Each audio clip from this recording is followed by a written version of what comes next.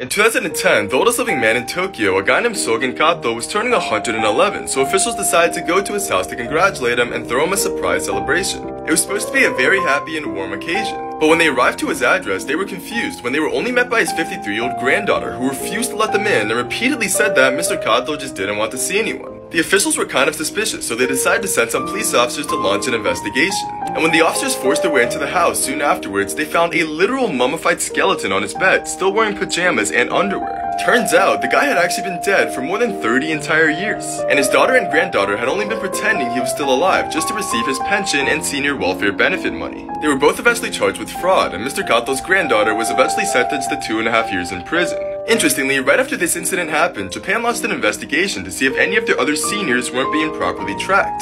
Funny enough, they ended up concluding that they didn't know whether 234,000 people over 100 were still alive.